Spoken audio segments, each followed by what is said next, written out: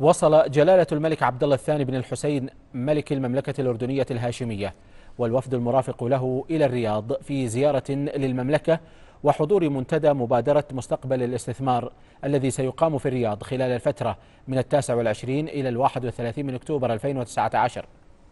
وكان في استقبال جلالته بالصالة الملكية بمطار الملك خالد الدولي صاحب السمو الملكي الأمير فيصل بن بندر بن عبد العزيز أمير منطقة الرياض وأمين منطقة الرياض المهندس طارق الفارس ومدير شرطة منطقة الرياض اللواء فهد المطيري وسفير المملكة الأردنية الهاشمية لدى المملكة علي الكايد ومندوب عن المراسم الملكية.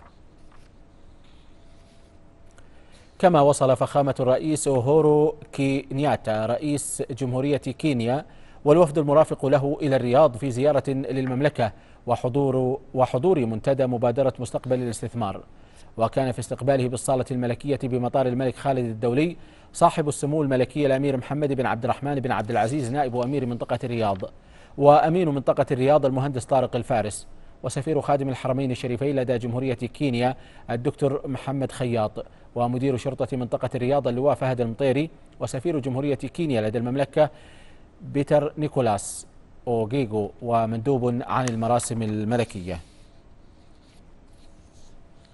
وصل دولة نائب رئيس جمهورية غانا الدكتور محمود باومية والوفد المرافق له إلى الرياض. وكان في استقباله في الصالة الملكية بمطار الملك خالد الدولي صاحب السمو الملكي الأمير محمد بن عبد الرحمن بن عبد العزيز نائب أمير منطقة الرياض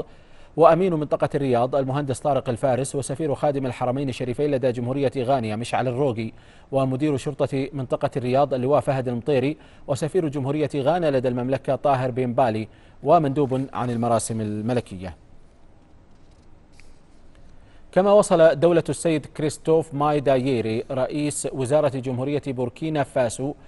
والوفد المرافق له إلى الرياض في زيارة للمملكة وحضور منتدى مبادرة مستقبل الاستثمار.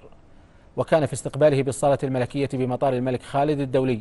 صاحب السمو الملكي الأمير محمد بن عبد الرحمن بن عبد العزيز نائب أمير منطقة الرياض وأمين منطقة الرياض المهندس طارق الفارس وسفير خادم الحرمين الشريفين لدى جمهورية بوركينا فاسو الدكتور وليد الحمودي ومدير شرطة منطقة الرياض اللواء فهد المطيري وسفير جمهورية بوركينا فاسو لدى المملكة مانسا أونتانسا ومندوب عن المراسم الملكية.